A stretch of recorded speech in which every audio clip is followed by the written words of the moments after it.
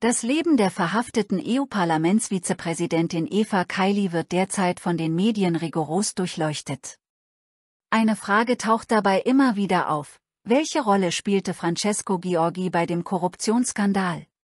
Geht es nach der sozialdemokratischen Politikerin selbst, offenbar eine ganz zentrale. Kylie behauptet nämlich laut griechischen Medien offenbar, dass ihr Lebensgefährte und Vater ihrer Tochter für den Skandal verantwortlich sei.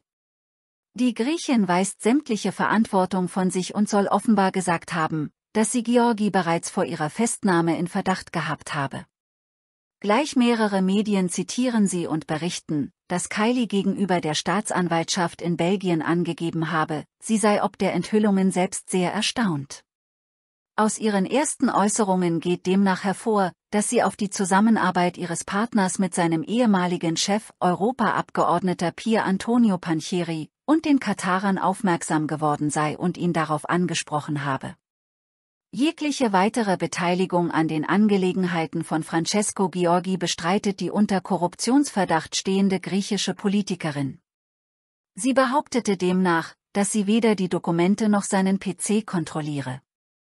Beim Korruptionsskandal im Europaparlament geht es um eine mögliche Einflussnahme Katars auf EU-Politiker. Im Zuge von Ermittlungen belgischer Behörden wurden Kylie, ihr Lebenspartner und vier weitere Personen festgenommen.